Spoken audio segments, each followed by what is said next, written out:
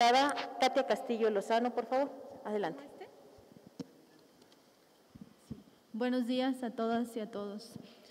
Este informe reconoce el trabajo particular y general de cada una de nosotras como mujeres representantes.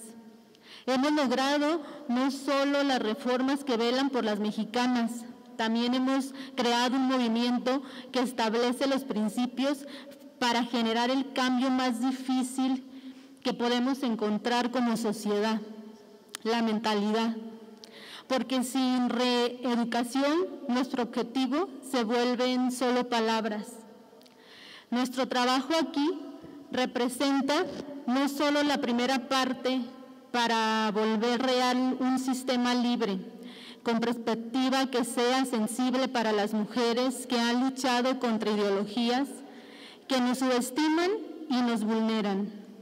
Sin embargo, estas mujeres que día a día se enfrentan a circunstancias generadas por mentalidades arcaicas, permite que se pongan en pie de lucha para romper con estos esquemas y que nos permitan visualizar, visibilizar toda la problemática, toda la problemática que hemos acarreado desde hace ya años atrás.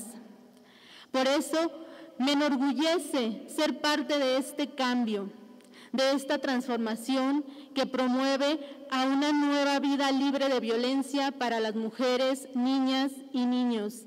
Muchas gracias. Y gracias, diputada, gracias, diputada presidenta, por todo el trabajo que has hecho porque eres y has puesto todo, todo, todo tu ser, puedo decirlo, en esta comisión. Gracias a todas las compañeras también.